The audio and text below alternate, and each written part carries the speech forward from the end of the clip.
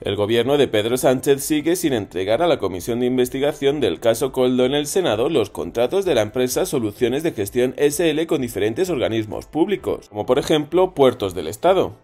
Esta empresa, a juicio de los investigadores de la trama, es el epicentro del cobro de comisiones por la venta de mascarillas y fue el proveedor de ministerios, empresas públicas y las comunidades autónomas de Baleares y Canarias.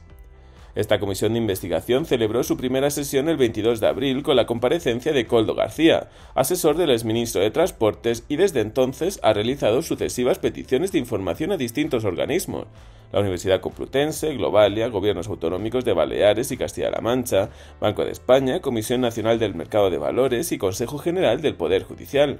A lo largo de estos meses, estas peticiones se han ido atendiendo y ahora está en fase de estudio. Sin embargo, según fuentes de la citada comisión, todavía falta por recibir la que se ha reclamado al Ejecutivo, precisamente una de las más importantes para saber cómo funcionaba la trama. El caso nació en Soluciones de Gestión, la empresa que permitió a la trama Coldo hacerse con nueve contratos por un importe de 53 millones de euros de dinero público. Las fuentes consultadas de la Comisión de Investigación consideran que el gobierno ya ha tenido tiempo suficiente para atender esta petición. Esto es lo que dicen. Tenemos pendiente reclamar porque nos falta mucha información de los contratos de soluciones de gestión con los organismos. Ya se debería de haber entregado. Por ejemplo, con puertos del Estado, no creo que sea muy difícil. De momento, la comisión de investigación no volverá a citar comparecientes hasta después del verano. Sin embargo, la mesa sí podría convocar alguna reunión para fijar calendarios y ver si hay que ampliar el plan de trabajo. De momento no se ha abordado la comparecencia del presidente del gobierno, Pedro Sánchez, pero tampoco la descartan después del verano.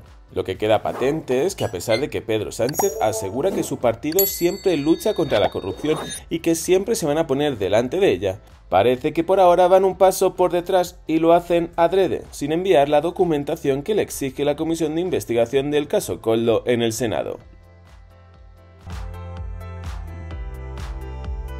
No olvides darle like y suscríbete si aún no lo has hecho.